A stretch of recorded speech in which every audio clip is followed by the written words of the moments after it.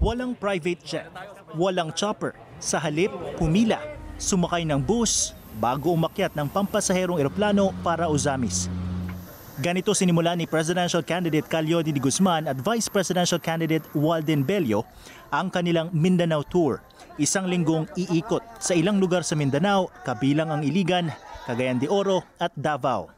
Yun naman talaga, hindi kami naman mga bilyonaryong kandidato na may sariling helicopter, may sariling private plane.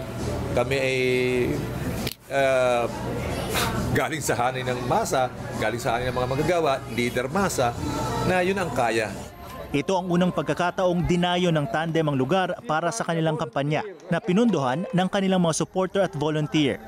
Ilang supporter ang sumalubong sa grupo bago mag-courtesy call sa mayor ng Clarin at mag-caravan. Hindi rin nila alintana kahit kakaunti ang kasama sa convoy at walang makikitang poster o tarpaulin nila sa lugar. Ang kanilang ipinunta dito, makipagpulong sa mga sektor na gusto nilang isulong. Dito sa Barangay Panay, sa bayan ng Clarin sa Misamis Occidental, pagsasaka ang pangunahing hanap buhay ng mga residente. Kaya isa ito sa unang pinuntahan ni Presidential Candidate Calyodi de Guzman para ibahagi ang kanyang plataforma para sa mga magsasaka. Unang daing ng magsasakang si Herminia Shaw ang tumataas na presyo ng abono. Ang kamahal lagi sa abono nga among gigamit karon, nya ang among palay paliton lang og barato. Sinisi ni Calyodi ang pagbaha ng imported na bigas sa bansa dahil sa rice tarification law, habang tinukoy ni Belio ang pagbukas ng ekonomiya sa imports at pagsunod sa mga pulisiya ng World Trade Organization. Ang dami na hong namatay na mga agricultural sectors natin.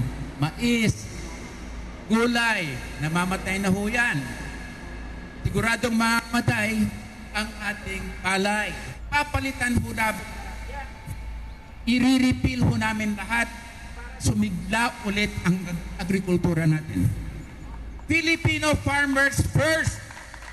Filipino farmers first! Nangunguna dapat ang ating mga bukid at mangingisda.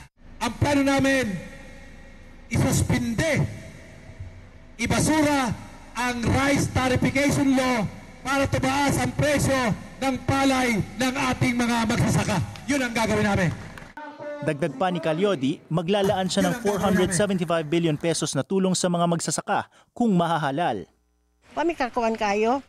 Aminado si Herminia, hindi niya gaanong naintindihan lahat ng sinabi ni Calyodi at Walden, pero ang mahalaga sa kanya, mapataas uli ang presyo ng palay.